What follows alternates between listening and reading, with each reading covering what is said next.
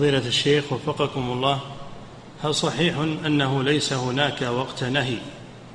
وقت زوال في يوم الجمعة أي نعم يوم الجمعة ما في وقت نهي زوال وقت الزوال ما في وقت نهي نعم